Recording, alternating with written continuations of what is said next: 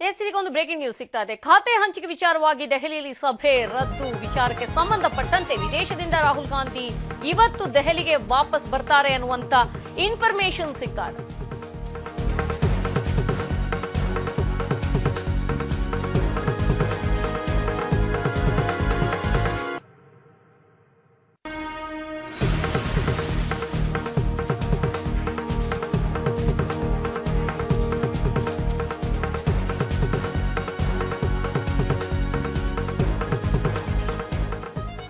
S, ಖಾತೆ ಹಂಚಿಕೆ ವಿಚಾರವಾಗಿ ದೆಹಲಿಯಲ್ಲಿ ಸಭೆ ರದ್ದು. ವಿಚಾರಕ್ಕೆ ಸಂಬಂಧಪಟ್ಟ ಹಾಗೆ ವಿದೇಶದಿಂದ ರಾಹುಲ್ ಗಾಂಧಿ ಇವತ್ತು ದೆಹಲಿಗೆ ವಾಪಸ್ ಬರ್ತಾರೆ. ಇವತ್ತು ಸಂಜೆ ಅಥವಾ ನಾಳೆ ನಾವು ದೆಹಲಿಗೆ ತೆರಳುತ್ತೀವಿ. ಕೆಪಿಸಿಸಿ ಕಚೇರಿಯಲ್ಲಿ ಡಿಸಿಎಂ ಡಾಕ್ಟರ್ ಜಿ ಪರಮೇಶ್ವರ್ ಹೇಳಿಕೆಯನ್ನು ನೀಡಿದ್ದಾರೆ. ಖಾತೆ ಹಂಚಿಕೆ ವಿಚಾರದಲ್ಲಿ ಯಾವುದೇ ರೀತಿಯಾದ ಅಸಮಾಧಾನ ಇಲ್ಲ. ಜಿಲ್ಲಾ ಉಸ್ತುವಾರಿ ಸಚಿವರ ನೇಮಕಾತಿಯಲ್ಲೂ ಕೂಡ ಯಾವುದೇ ರೀತಿಯ ಭಿನ್ನಮತ ಇಲ್ಲ. ಯಾವುದೇ ಅಸಮಾಧಾನ ಆಗದ ಹಾಗೆ ಮೈತ್ರಿ ಸರ್ಕಾರ ನಡೆಸ್ತೀವಿ. ಬುಧವಾರ ನೂತನ ಸಚಿವರು ಪ್ರಮಾಣ ವಚನ ಸ್ವೀಕಾರ ಮಾಡ್ತಾರೆ ಅಂತ ಕೆಪಿಸಿಸಿ ಕಚೇರಿಯಲ್ಲಿ ಡಿಸಿಎಂ ಡಾಕ್ಟರ್ ಜಿ ಪರಮೇಶ್ವರ್ ಹೇಳಿದ್ದಾರೆ.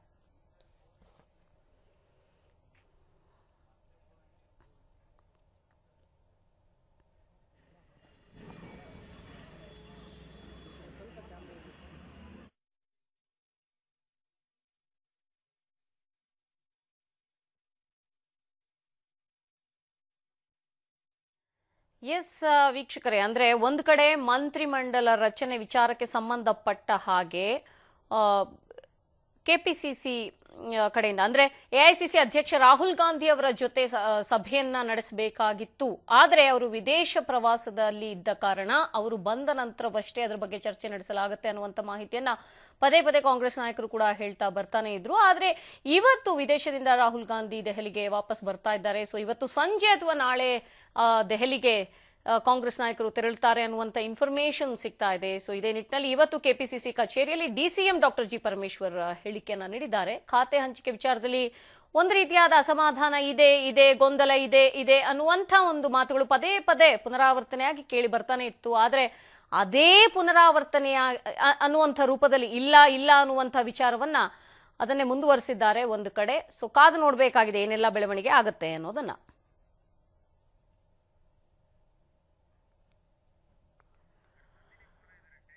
ಎಸ್ ಈ ಬಗ್ಗೆ ಮತ್ತಷ್ಟು ಡೀಟೇಲ್ಸ್ ಅನ್ನ ನೀಡ್ತಾರೆ ದೂರವಾಣಿ ಸಂಪರ್ಕದಲ್ಲಿರುವಂತಹ ನಮ್ಮ ಪ್ರತಿನಿಧಿ ನಂದಿನಿ. ನಂದಿನಿ, ಇವತ್ತು ಖಾತೆ ಹಂಚಿಕೆ ವಿಚಾರವಾಗಿ ದೆಹಲಿಯಲ್ಲಿ ಅಂದ್ರೆ ಏನಾದರೂ ಸಭೆ ಇರುತ್ತಾ? ಯಾಕಂದ್ರೆ ಇವತ್ತೇ ಹೊರಡ್ತಾ ಇದ್ದಾರೆ ಅನ್ನುವಂತ ಇನ್ಫಾರ್ಮೇಶನ್ ಇದೆ.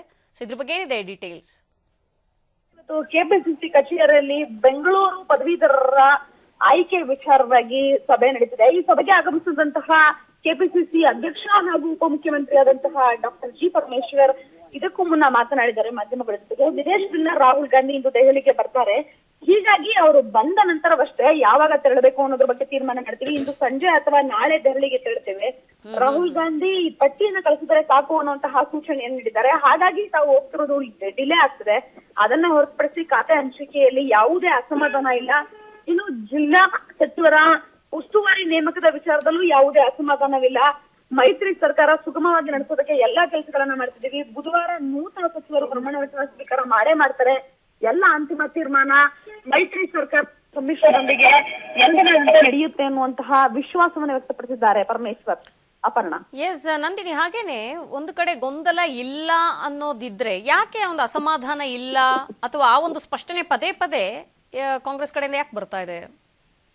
ಅಪರ್ಣ ಎಸ್ ಆರ್ ಪಾಟೀಲ್ ಕಾರ್ಯಾಧ್ಯಕ್ಷರಾಗಿ ತಮ್ಮ ಸ್ಥಾನಕ್ಕೆ ರಾಜೀನಾಮೆ ಕೊಟ್ಟರು ನಿಜ ಅವರ ನಿರೀಕ್ಷೆಯಂತೆ ಆ ಭಾಗದಲ್ಲಿ ಮತದಾರರನ್ನ ಸೆಳೆಯುವುದರಲ್ಲಿ ಹಾಗೂ ವೀರಶೈವ ಲಿಂಗಾಯತ ವಿಚಾರದಲ್ಲಿ ಸರ್ಕಾರದ ಸ್ಟ್ಯಾಂಡ್ ಗಳನ್ನ ಜನರಿಗೆ ತಲುಪಿಸುವಲ್ಲಿ ಹಾಗೂ ಜನರನ್ನ ತಲುಪಿಸಿ ಅದರಿಂದ ವಿಶ್ವಾಸ ಪಡೆದುಕೊಳ್ಳುವುದರಲ್ಲಿ ಸೋತಿದ್ದಾರೆ ಅನ್ನುವಂತಹ ಮನೋಭಾವ ಸುತ್ತಮುತ್ತಲಿನ ನಾಯಕರು ಹಾಗೂ ಕೆಪಿಸಿಸಿ ಒಳಗಿನ ನಾಯಕರಲ್ಲಿ ಮೂಡಿ ಬಂತು.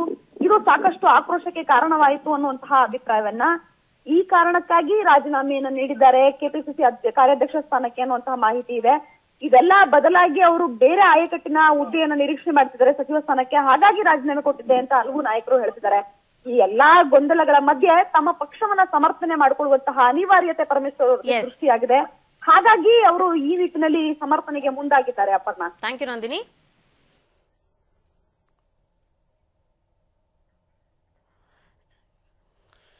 Yes ವೀಕ್ಷಕರೇ, ಒಂದು ಕಡೆ ಅಂದ್ರೆ ಖಾತೆ ಹಂಚಿಕೆ ವಿಚಾರವಾಗಿ ದೆಹಲಿಯಲ್ಲಿ ಸಭೆ ಇರೋದು ವಿಚಾರಕ್ಕೆ ಸಂಬಂಧಪಟ್ಟಂತೆ ಇವತ್ತು ಏನು ಎಐಸಿಸಿ ಅಧ್ಯಕ್ಷ ರಾಹುಲ್ ಗಾಂಧಿ ವಿದೇಶದಿಂದ ವಾಪಸ್ ಬರ್ತಾರೆ ಅನ್ನುವಂಥ ಇನ್ಫಾರ್ಮೇಶನ್ ಸಿಗ್ತಾ ಇದೆ. ಸೊ ಅವರು ಬಂದ ನಂತರ, ಅಂದ್ರೆ ಇವತ್ತೇ ಅವರನ್ನ ಭೇಟಿ ಮಾಡಬೇಕಾ?